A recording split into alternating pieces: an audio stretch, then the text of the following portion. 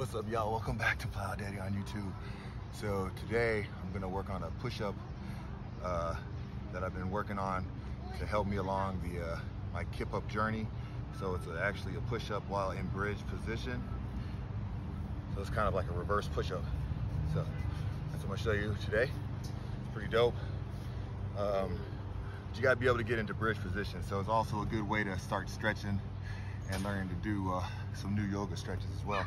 So if you're still new to doing a bridge, bridge is where you're pretty much your body's arched, reverse, stomach up, like so.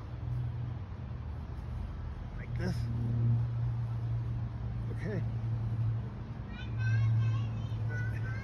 To get to that, you should always start with like the table pose. And that's how they, you start getting your shoulders behind your back like this. Your, your, your lower half, your hips in the air, and then try to grip your hands behind your back and extend outward with your pelvis and lower back.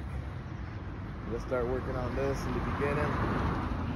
Build up your strength, and then you'll start working your way into bridge where you're placing your hands by your ears like this.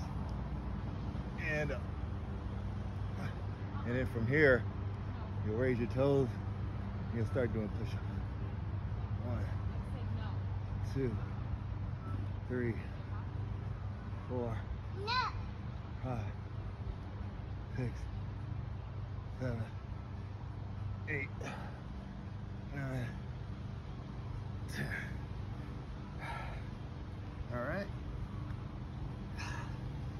those are bridge push-ups by PlyoDaddy. Uh, try them out. Definitely get that uh, help with the explosion on my kip ups. I can tell the difference since I started doing them. So thanks guys. Keep subscribing. Keep with the likes, comments, and sharing of course. Take care.